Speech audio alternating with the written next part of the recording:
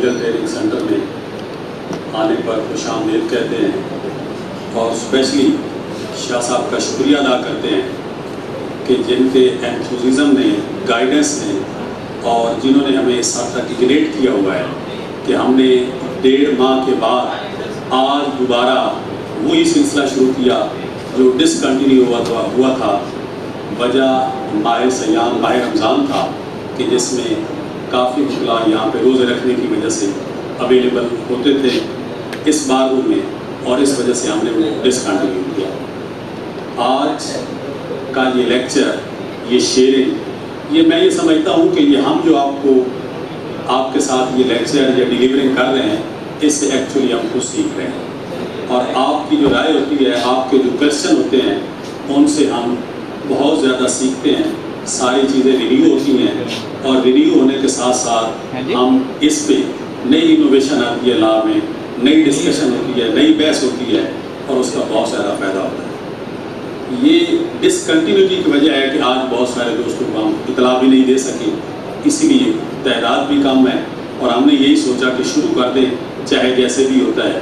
اور جن بھائیوں نے لیکچر نہیں دیکھے یا پہلے نہیں سنے وہ شاہ صاحب کے لیکچر اور جو یہاں پہ لیگل ٹریننگ سینٹر پہ لیکچر ہوئے ہیں، وہ سب کے سب یوٹیوب پہ پڑھیں اور ہم نے ان کو ڈاؤن لوڈ اپلوڈ کرنا شروع کر دیا ہے۔ پہلے لیکچر ہوتے رہے تھے شروع میں، جن کی ہم نے ویڈیو نہیں بنوائی تھی، لیکن اب ویڈیو چونکہ بن رہی ہیں، تو اس لیے یہ چلیں گے یوٹیوب پہ سارے ہوں گے۔ آج آپ سے جو شیئر کرنا چاہتے ہیں، وہ کرمنل ٹرائل ہے۔ اور کرمنل ٹرائل سے پہلے کچھ چیزیں میں اپنے تجربے کے حوالے سے آپ سے شیئر کرنا چاہتا ہوں۔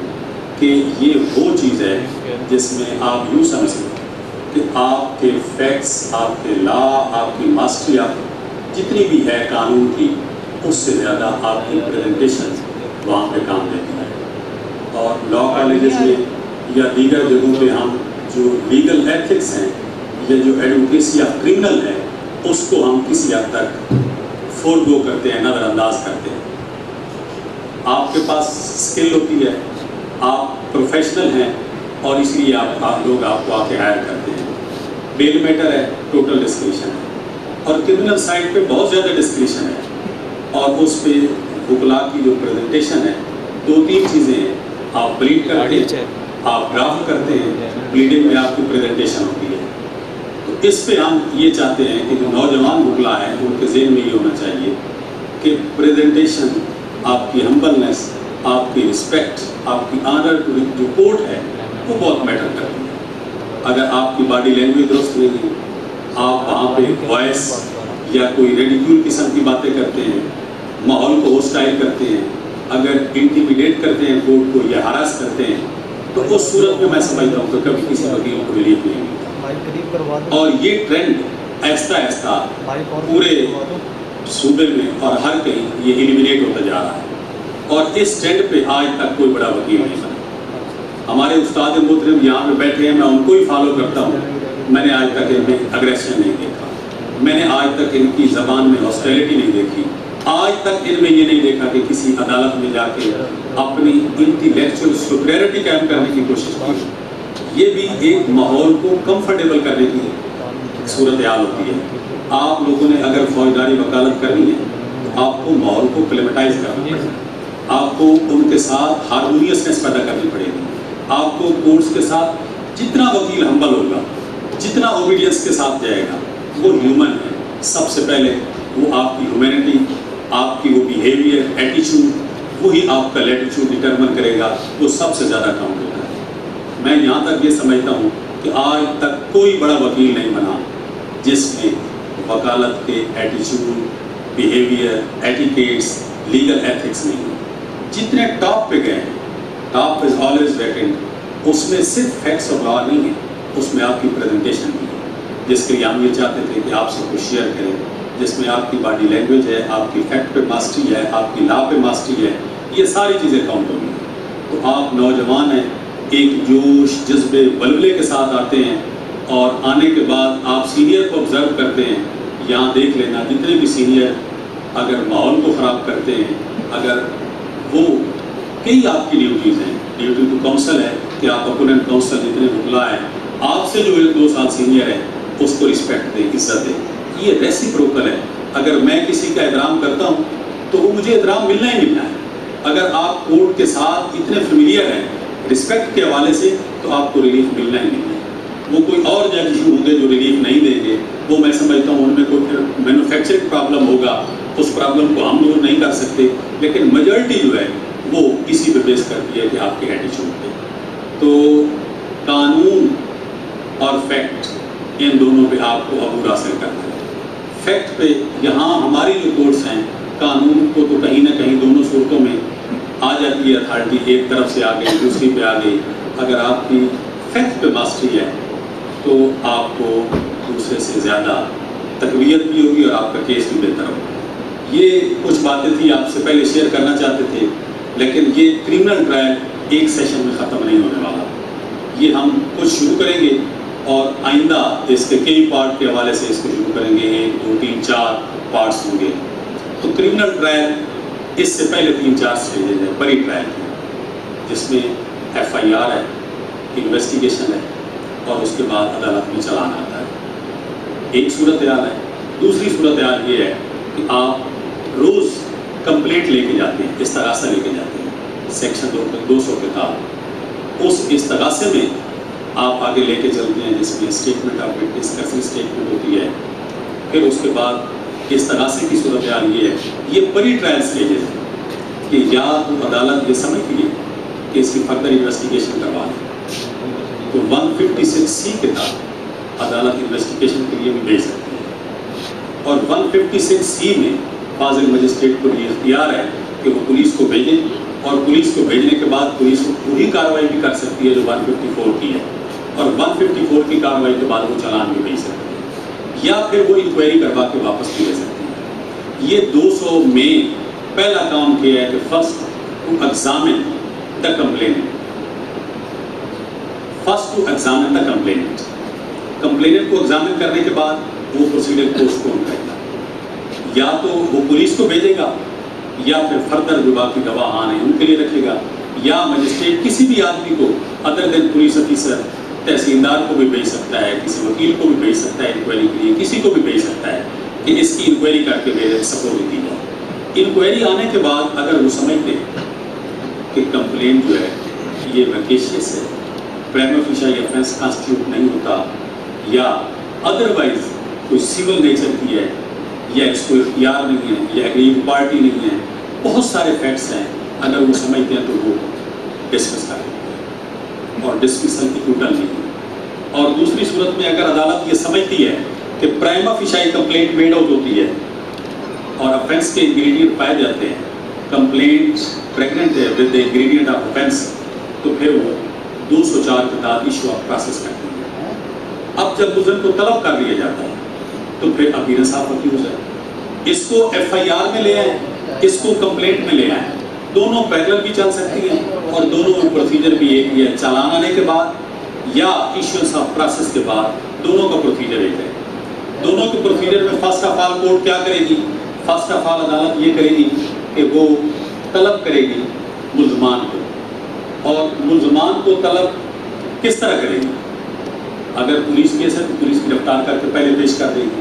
جیل میں ہے تو جیل سے طلب کرے گی اگر آپ کا کمپلینٹ کیس ہے، تو کمپلینٹ کیس میں وہ کریں گے کہ ملزم کو سمن یا ورنٹ سمن یا ورنٹ کا کہاں سے ہم پروسیجر تلاش کریں گے؟ وہ شیڈول دیا ہوا ہے ایس پی آر پی سے۔ اس شیڈول ٹو کے تحت سمن بھی ہو سکتا ہے ورنٹ بھی ہو سکتا ہے۔ سمن ورنٹ تک یہ ساری انکوائریز ہیں، ابھی ٹرائل نہیں شروع ہے انویسٹیگیشن پہلے کمپلیٹ ہو گئی۔ سیکشن دو سو دو سو تین، دو سو چار اور طلبی ملزمان جو ہے اپیرنس آف اکیوز یہ بھی انکوائری ہے۔ اور اکیوز اگر نہیں آتا، تو پھر اس کا پروسیجر کیا ہے؟ اس کے برنٹ کے بعد اس کی پرکلیمیشن ہوگی ایٹی سیون کے تحت۔ اگر پھر بھی نہیں آتا، تو پھر اس کو ایٹی ایٹ کے تحت مجسٹریٹ جو ہے، اس کی پراپرٹی اٹیچ کرے اور اگر پھر بھی نہیں آتا، تو اس کے پرپیچول ورنٹ جاری کر کے وہ لکھ دیں گے کہ جب بھی یہ گرفتار ہوگا اس کو پیش کر دیں یہ یہاں تک ہے کہ یہ پری ٹرائل ملزم کو عدالت میں حاضر آنے تک ہوتی ہے اور same F I R police کیا کرے گی؟ ایف آئی آر میں پولیس یہی کرے گی کہ وہ برانڈ گرفتاری لے گی، اس کو اشتہاری کرے گی اور وہ بھی ورنٹ لے کے پولیس اس کو گرفتار کر کے جب پیش کریں گے تو اب دیکھنا یہ ہے کہ کوگنیزنس کہاں عدالت لیتی ہے یہ تین سٹیجز ہیں، تین طریقے ہیں کوگنیزنس لینے کا کوگنیزنس کے میننگ کیا ہے یہی ہے ٹو ٹیک اوور ٹو جج ٹو نوٹس دا میٹر یہ انکوائری ہے ون نائنٹی کے تحت۔ اور ون نائنٹی کے تین طرح کی ہے یا پولیس کی رپورٹ پہ ون سیونٹی تھری پہ، یا پھر دوسری صورت میں کمپلینٹ پہ۔ تیسری صورت میں سونو موٹو ہے کہ وہ اپنے طور پہ بھی کر سکتے ہیں۔ لیکن ہم جس سے جس صورتحال سے کنفرنٹ ہوتے ہیں، وہ دو ہی ہیں۔ یا ایف آئی آر ہے یا کمپلینٹ ہے۔ ان دونوں صورتوں میں پولیس اور عدالت یہ ساری انکوائری کر کے عدالت کو سبمٹ کرنے کے بعد یہ کوگنیزنس ہوگی اب اس کے بعد کوگنیزنس کے بعد کیا پروسیجر اڈاپٹ ہوگا؟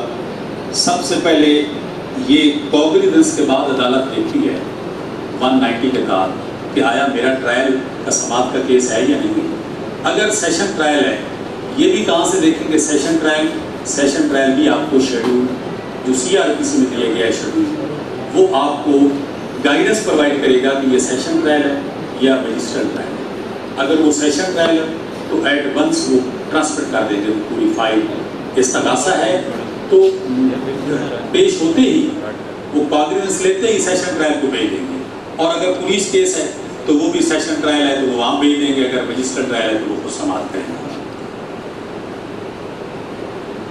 اب ٹرائل شروع ہونے سے پہلے یہ ڈیٹرمن ہونا ہے کہ یہ سمری ٹرائل ہے یا ریگولر ٹرائل ہے۔ دو ٹرائل ہے پیٹی افینسز میں جن میں لیسر پنشمنٹ ہے نیچر آف افینس کی گریوٹی کم ہے یا اس میں سمپل پنشمنٹ ہے یا اس کے لیے یہ ہے کہ ایسے افینسز ہیں جن میں اپیل لائی نہیں کرتی۔ یا عدالت یہ سمجھتی ہے کہ اس میں چارج کرنے کی ضرورت نہیں ہے۔ ان میں وہ سمری اب سمری ٹرائل کے لیے اگر ملزم کلیم کرے تو اس کو سزا زیادہ ہونی ہے، تین ماہ سے زیادہ ہونی ہے۔ ایکسیڈ کرتی ہے تین ماہ سے زیادہ، تو وہاں پہ چارج فریم ہوگا، پھر وہی ریگولر ٹرائل والا پروسیجر ہوگا۔ اگر اس سے کم ہوگی، تو وہ ریگولر ٹرائل کا پروسیجر اڈاپٹ نہیں ہوگا، بلکہ کیا لکھیں گے؟ وہ لسٹ آف ایویڈنس لکھیں گے۔ ڈیٹ ٹائم پلیس اکریس کا ہونا، اور لکھنے کے بعد یا تو وہ کنوکشن کر دیں گے یا انکل کر دیں گے۔ باقی پروسیجر سب کا ایک ہی ہوگا۔ لیکن ہم وہی ریگولر ٹرائل میں ہی جائیں گے، کیونکہ اس سے آپ کو زیادہ بہتر پتہ چلے گا۔ مجسٹر ٹرائل میں بھی جب چالان آ جاتا ہے یا ملزم کو طلب کر لیا جاتا ہے اور ملزم آ جاتا ہے، تو پہلا کام ہے کہ اس کو یہ موقع دیا جائے کہ وہ کونسل انگیج کرے۔ اور یہ section ten of constitution of Pakistan یہ سیف گارڈ کرتا ہے۔ کہ ہمیں ڈیو پروسیس آف لا کے تحت، قانون کے تحت ہمیں لیگل اسسٹنس ملے ہم اپنے آپ کو ڈیفینڈ کر سکیں۔ اگر ہم مطلب کوئی ملزم بھی اپنے طور پہ اپنی ڈیفینس کے لیے اس کے پاس رقم نہیں ہے یا مقدمے میں وہ نہیں کسی کو گیج کر سکتا، تو یہ اسٹیٹ کی ذمہ داری ہے۔ یہ تین سو چالیس سی آر پی سی اس میں پہلا بھی یہی لکھا ہوا ہے تین سو چالیس ون میں۔ کہ اکیوز کو ڈیفینڈ کرنے کا موقع دیا جائے گا اور وہ ڈیفینڈ کیسے ہوگا؟ یا اپنی کاسٹ پہ انگیج کرے گا یا ریاست کر کے لیے اسٹیٹ کر کے لیے۔ یہ اس کے لیے آئی کوئی رول اینڈ آرڈر بھی اس پہ گائیڈنس فراہم کرتا ہے۔ کانسٹیٹیوشن آف پاکستان بھی ہے اور پھر اس پہ لیگل ڈسٹرکٹ لیگل کمیٹی بھی بنی ہوئی ہے اور اس میں وہ district D L C committee بھی وہ فراہم کرتی ہے، جس جج کے پاس ہوتا ہے وہ مقرر کر کے اور فیس پہ یہ اسٹیٹ بھی اس کی ادا کرتی ہے۔ تو سب سے پہلے کونسل انگیج کیا جاتا ہے۔ کونسل انگیج کرنے کے بعد اس تناسے میں اگر طلبی ہو گئی ہے تو آپ نے تین دن کے اندر اندر وہ اسٹیٹمنٹ طلبی کے آرڈر اور کمپلینٹ کا اسٹیٹمنٹ یہ ساری چیزیں کی مشقہ نقلات فراہم کرنی ہے۔ مجسٹریٹ کو according to number of accused کہ اگر کتنے اکیوز ہیں، اگر اکیوز دس ہیں، تو مشقہ کاپی دس دن ہیں۔ اسی طرح چلان میں بھی ہوگا کہ اکیوز جتنے ہیں، اتنی کاپیاں پولیس اس کے ساتھ لگا کے وہ فراہم کرے اور نقولات تقسیم کرنے سے پہلے کونسل کا کرنا ضروری ہے، چونکہ یہ ٹیکنیکل بات ہے، لائر کے بغیر کوئی سمجھ نہیں سکتا۔ جب چارج فریم ہونا ہے تو اس کو کافی سپلائی ہونے کے بعد وہ مکمل طور پہ اویئر ہو کہ اس کے خلاف چارج کیا ہے۔ اور اس نے کس چیز کا جواب دینا ہے؟ اس کے خلاف ایکوزیشن کیا ہے؟ اور اس نے کیا ڈیفینس لینا ہے؟ ایڈمیشن پلیٹ کرنا ہے، اس کی سچائی کو تسلیم کرنا ہے گلٹی پلیڈ کرنا ہے۔ یا اپنے آپ کو کلیم کرنا ہے، ٹرائل کرنا ہے۔ یہ فریمنگ آف چارج یہ ٹو فورٹی ون کے تحت مجسٹریٹ کے پاس ہے اور ٹو سکسٹی فائیو ڈی کے تحت سیم پروسیجر ہے۔ یہ سیشن جج صاحب کے پاس ہوگا۔ کہ چارج فریم ہوگا اور ملزم کی پری لکھی جائے گی۔ کہ پری گلٹی کرتا ہے یا نہیں۔ یہاں سے ٹرائل شروع ہوتا ہے۔ کومنس میں سب چارج جو ہے، وہاں سے ٹرائل شروع ہوتا ہے۔ اس سے پہلے ٹرائل نہیں۔ اس سے پہلے سارا انکوائری کا پروسیجر ہے کوگنیزنس لینا، ملزمان کو طلب کرنا اور پلیس آف ٹرائل ڈٹرمن کرنا۔ یہ کوگنیزنس میں ڈٹرمن کرنا کہ آیا یہ اختیار سیشن جج کا ہے یا مجسٹریٹ کا ہے۔ سمری ٹرائل ہے یا یہ ریگولر ٹرائل ہے۔ یہ ساری چیزیں اور ایک اور ہے کہ پولیس رپورٹ آتی ہے، اسے ایگری یا ڈس ایگری کرنا۔ یہ بھی انکوائری اور اس کو ہم ایگزیکٹو آرڈر کہتے ہیں۔ اب ایک چیز اس میں اور آتی ہے، چونکہ ایک ایک چیز پہ ایک ایک دن کا پورا چاہیے کہ اگر اس طرح میں کسی کو طلب کر دیا گیا ہے، تو اس کے پاس کیا رہنا ہے؟ اور اگر کسی کو ڈسمس استغاثہ کر دیا گیا ہے، تو اس کے پاس کیا رہنا ہے؟ اس کے پاس رویت بھی ہے۔ اور جو ہم سیشن کورٹ میں مجسٹریٹ کے آرڈر کے خلاف کرتے ہیں، اور رویت کا سپورٹ جو ہے، وہ انتہائی نہرو ہے۔ اگر جتنے بھی استغاثے یہاں پہ طلب ہوتے ہیں، اس کی روین دائر ہوتی ہے۔ اور روین دائر ہونے کے بعد کیا ہوتا ہے؟ کہ اگر سیشن جج یہ سمجھتا ہے یا ایڈیشنل سیشن ججز کے پاس ہے کہ اس میں کوئی انلیگلٹی ہے انریگولیرٹی ہے کوئی اس میں مجسٹریٹ صاحب نے کوئی وانٹ آف جو ریسٹرکشن ہے تو پھر اسی کو ریمانڈ کرتا ہے کہ وہ اس کو درست کرے اور دوبارہ فیصلہ کرے وہ نہ ہمیں ایکویٹ کر سکتا ہے نہ اس کمپلینٹ کو کویش کر سکتا ہے وہ اس کو کوئی اختیار نہیں صرف ریمانڈ کرے اب یہاں ایک اور صورت حال ہے کہ ریمانڈ کے بعد آیا مجسٹریٹ کیا کرے گا یہ ہائی کورٹ تک کیس ریمانڈ ہو کے آتے ہیں، وہ دوبارہ طلبی کر دیں تو یہ ٹوٹل اختیار مجسٹریٹ کے پاس ہے، یہ کبھی بھی نہیں ہوا ریمانڈ ہو اس کی مرضی ہے، تو وہ اس کو کرے، مرضی نہیں ہو تو پھر دوبارہ وہی فیصلہ کر دیں۔ یہ ایک مسکنسیپشن ہے کہ ہم روین میں جاتے ہیں، تو روین میں یہ ہوا ہے اور مجسٹریٹ نے نہیں کیا۔ تو مجسٹریٹ جو بھی کرتا ہے، یہ الٹیمیٹلی اس کا ریزلٹ جو ہے، یا تو آپ کو ملنا ہے دو سو پچاس اے کتاب یا فائنل اس کی ججمنٹ آنی ہے ایکوٹل یا کنوکشن یہ جتنے بھی کمپلین کے کیس ہیں، جن میں طلبی ہے، اس میں یہی پروسیجر ہے کہ ریمانڈ ہی ہوتا ہے اور فیصلہ الٹیمیٹلی مجسٹریٹ بھی کرتا ہے۔ اور یہ انکوائری چل رہی تھی۔ ون فورٹی فائیو بھی انکوائری ہے۔ ایک سو سات، ایک سو اکاون کی بھی انکوائریز ہیں جو کرتے ہیں۔ اور اس جتنے اس قسم کے ہیں ون تھرٹی تھری کی انکوائری ہے ملزم کو طلبی کی انکوائری ہے، یہ ساری چیزیں انکوائری کس لیے ہے۔ اب چارج ہوگا اس کے بعد۔ چارج کے بعد شروع ہوتا ہے۔ اور یہ بہت اہم چیز ہے کہ پچھلی ساری چیزیں میں تو یہ سمجھتا ہوں کہ اس سے بہتر یہ ہوگا کہ اگلی دفعہ آپ کسی بھی پولیس فائل کو اور چالان کو لے کے ایک دفعہ پڑھیں اور طلبی کے حکم تک آپ کے سامنے پورے آرڈر مل جائیں اور آپ ایک ایک کوشچن کریں اور ایک ایک کوشچن کے ساتھ ہمیں بھی یہ موقع ملے گا کہ آپ پڑھ کے آئے اور ہم بھی اس سے سیکھیں گے اور اس سے میں سمجھتا ہوں کہ بہتر انڈرسٹینڈنگ آئے گی صاحب کے لیے۔ اب جب چارج فریم ہو جاتا ہے تو چارج کے بھی پروسیجر ہے کہ چارج کیسے ہوگا؟ چارج سیکشن 221 سے لے کے آگے 237 تک سی آر پی سی میں چارج ہیں اور چارج کا بڑا لمبا چوڑا پروسیجر ہے۔ جو بھائی کل کو امتحان دینا چاہتے ہیں، تو چارج کے کوشچن نارملی تقریباً ہر امتحان میں آئے۔ اور سیشن یا اے ایس کے جو امتحان دینا چاہتے ہیں، ان کے لیے تو یہ ہنڈریڈ پرسینٹ آتے ہیں۔ سول جج کے امتحان میں بھی آتے ہیں۔ اور یہ تھوڑا سا اس لیے ٹیکنیکل ہے کہ اس کو سمجھتا کوئی نہیں۔ اور ادروائز کسی بھی افینس کا چارج اگر پی پی سی دیکھتے ہیں اور افینس کو دیکھتے ہیں تو اس کے لیے چارج پورا بنا ہوا ہے۔ اور اسی کو پڑھ کے سارے یہ چارج ہاتھ لگاتے بھی ہیں، اس سے باہر نہیں جاتے۔ تھیفٹ کا ہے کہ آؤٹ ڈیٹ پلیس ٹائم آپ نے یہ کیا اور دی پریزنس آپ یہ کیا، تو یہ آپ ڈاکیومنٹس لیتے ہوئے آپ کے خلاف یہ چارج کیا جاتا ہے۔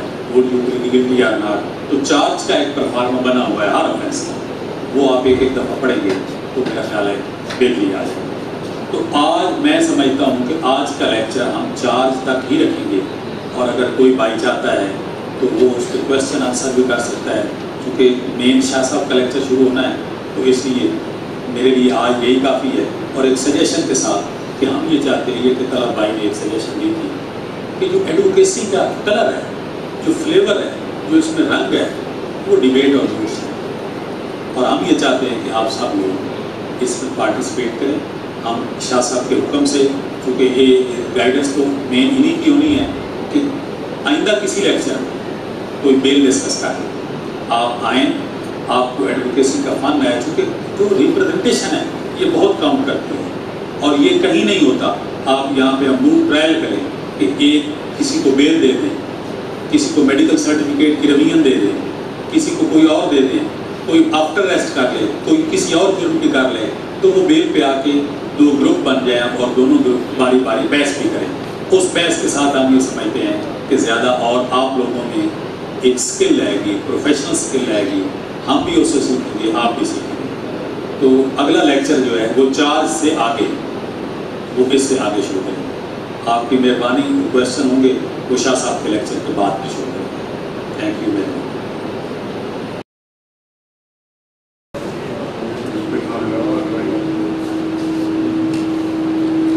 افراد کی تعداد کسی اہمیت کی حامل نہیں ہوتی سوال صرف اتنا ہوتا ہے کہ آپ اپنی بات کتنے لوگوں تک پہنچا اگر ایک آدمی تک پہنچے تو وہ ایک سے پھر دو اور پھر چار اور پھر آٹھ اور پھر سولہ اس طرح بڑھتی ہے لہذا اگر آج آپ کی تعداد کم ہے تو یہ کوئی پریشانی کی بات نہیں ہے۔ کم ہو یا زیادہ ہو، سوال یہ ہے کہ جو بات پہنچانا چاہتے ہیں، کیا وہ بات پہنچ رہی ہے؟ آج کے لیے جو موضوع دیا گیا، وہ نہایت اہم اور خصوصی طور پر توجہ کرتا ہے۔ اس موضوع کو سمجھنے سے پہلے اس کی بنیاد کی باتیں میں آپ سے آج کروں گا اس کے بعد لیکچر ان شاء اللہ تعالیٰ اس وقت دنیا کا نقشہ اگر آپ دیکھیں آپ کو یہ معلوم ہوگا کہ دنیا کی مختلف اقوام مختلف تہذیبوں کے حامل ہیں ہر قوم اپنے اندر ایک تہذیب رکھتی ہے۔ جب ہم یہ بات کرتے ہیں کہ قرآن آج سکڑ رہا ہے، تو اس کے یہ معنی ہر چیز نہیں ہے کہ زمین شرنگ ہو رہی ہے۔ بلکہ اس کی یہ معنی ہے کہ ہم قوموں کو ایک دوسرے کے قریب لا رہے ہیں۔ قرآن عرض کے سکڑنے کے معنی یہ ہے کہ اقوام عالم ایک دوسرے کے قریب آ رہے ہیں۔ جب قومیں ایک دوسرے کے قریب آتی ہیں، تو اس کے ساتھ ساتھ ان کی تہذیبیں بھی لوگوں کے ساتھ قریب شروع کرتی ہیں اور جب تہذیبیں قریب آتی ہیں، تو اس سے جو نتائج پیدا ہوتے ہیں، وہ خصوصی اہمیت کے حال ہینگٹنگٹن تو یہ کہتا ہے کہ تہذیبیں قریب آتی ہیں، تو کریش اور سویلائزیشن ہوتا ہے۔ تہذیبیں آپس میں ٹکرا جاتی ہیں۔ لیکن اس وقت دنیا یہ سمجھتی ہے کہ تہذیبوں کا ٹکرانا کوئی اچھی بات نہیں۔ تہذیبوں کو ٹکراؤ سے روکنا ہوگا۔ لہذا اس تہذیبوں کے ٹکراؤ سے روکنے کے لیے ہمیں کیا کرنا ہے؟ وہ تہذیبوں کا ٹکراؤ اگر ہو تو اس کے نتائج کیا ہوتے فرض کریں۔ دو تہذیبیں قریب آ کر ایک دوسرے سے ٹکرا تو اس کا نتیجہ یہ ہوگا کہ جو تہذیب طاقتور ہوگی وہ کمزور تہذیب پر غالب آ جائے۔ گی کمزور تہذیب ختم ہو جائے گی طاقتور تہذیب اس سے غلبہ پا لے گی دوسری صورت یہ ہے کہ دونوں تہذیبیں برابر کی طاقت رکھتی اگر وہ دونوں برابر کی طاقت رکھتے تو ایسی صورت میں جب وہ دونوں آپس میں ٹکرائیں گے تو دونوں پانچ پانچ ہو جائیں اور اس کے نتیجے میں ایک تیسری طاقت، ایک تیسری قوت، نمودار ہو کر اپنی تہذیب کو پیدا کرتی ہے۔ ایک تیسری صورت اور ہے کہ ہر تہذیب اپنے اپنے دائرے میں رہ کر اپنا اپنا کام کرتی ہے۔ اپنے اپنے دائرے میں رہیں، دونوں تہذیبیں زندہ رہیں اور اپنی زندگی کا سفر موقع کرتے ہیں تیسری صورت اب جب ہم دنیا پر اس وقت نظر ڈالتے ہیں تو ہم یہ دیکھ رہے ہیں کہ قومیں ایک دوسرے کے قریب آ رہی ہیں، لیکن اس کرم قرب کے آنے کی وجہ سے قوموں میں ٹکراؤ کا اندیشہ پڑ رہا ہے۔ جب ہم دنیا کے نقشے پر نظر ڈالتے ہیں، تو ہم یہ دیکھتے ہیں کہ دنیا جغرافیائی تقسیم کے تحت قائم ہے۔ شمالی امریکہ کا نقشہ دیکھیں، جنوبی امریکہ کا نقشہ دیکھیں، یورپ کا نقشہ دیکھیں، ایشیا دیکھیں، آسٹریلیا دیکھیں اور افریقہ دیکھیں، ان نقشوں پر غور کریں۔ شمالی امریکہ کے دونوں طرف سمندر ہے ایک طرف بحیرہ کے روس دوسری طرف بین القاعدہ بین جنوبی ایشیا کو، جنوبی امریکہ کو دیکھیں اس کے دونوں طرف سمندر بحیرہ کے روس اور بین القاعد اور نیچے بحر شمال اب جب ہم ایشیا کو دیکھیں، اس کے شمال میں بحر جنوبی شمال جنوب میں خلیج بنگال، بحر ہند، بحر عرب وغیرہ جب یورپ کو دیکھتے ہیں، اس کے تین طرف سمندر ہے بحیرہ روم، بحر جنوبی شمال بحر بحر اور ایک طرف یورال یورال موسٹی جو میں آسٹریلیا کو دیکھتے ہیں اس کے چاروں یہ جو دنیا کی ترکیب بنی ہوئی ہے یہ انسانوں کی بنائی ہوئی نہیں یہ ترکیب جغرافیائی ترکیب ہے لہٰذا ان کے اندر پیدا ہونے والی اقوام ان کی ترکیب بھی قدرتی ترکیب ہے اور جب ان کی ترکیب قدرتی ہے تو ان کی تہذیب بھی قدرتی ہے اور جب تہذیب قدرتی ہوگی، اس کو پھلنے پھولنے کے لیے وہ قدرتی عوامل کی ضرورت ہوگی لہٰذا جب تہذیب طاقتور ہوتی ہے، تو وہ یہ کوشش کرتی ہے کہ وہ دوسری تہذیب پر غلبہ پا اب غلبہ پانے کا جو طریقہ دور حاضر میں اختیار کیا گیا، وہ موضوع بحث ہے کہ آج کے دور میں ہر تہذیب، کمزور تہذیب پر غلبہ پانے کے لیے جو کوشش کرتی ہے، اس کے لیے طریقہ ایجاد کیا کہ جس قوم پر غلبہ پانا ہے طاقتور تہذیب پر اس کی تہذیب کو ٹکڑوں میں بانٹتے ہیں